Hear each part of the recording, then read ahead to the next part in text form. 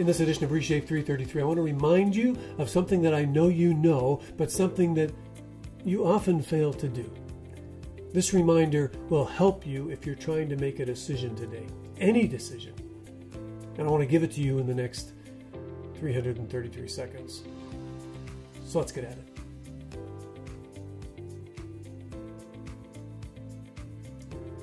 What decision do you need to make today or in the next few days? And you're procrastinating in making that decision because you're anxious and fearful and you simply don't know the right answer. You don't know what to do. What university should I go to? What job should I accept? Is it time to leave my current job or should I stay in that job? What heat pump should I install? Where should I invest my money for retirement? Should I take CPP at 60 or should I wait until I'm 65? I could keep going. Question after question after question. You see, when, when, when the facts are foggy, questions like those or any question become, can become overwhelming to us. Now, here's your reminder because I want to give to you nine words that I know that you know, but nine words that I think you probably have forgotten. Here are the nine words. When the facts are clear, the decisions are obvious.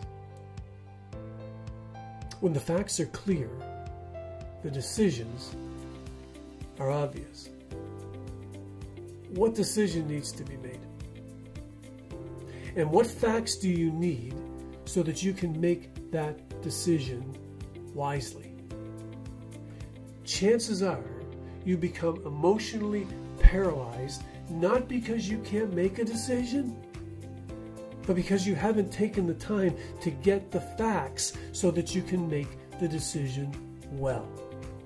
It's the lack of information that's creating fear and anxiety in you, not your inability to make a decision.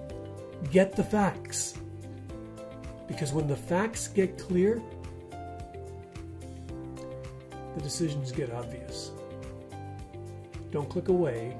There's some homework coming on the screen when I stop talking that I think will be helpful for you. Take a look at it.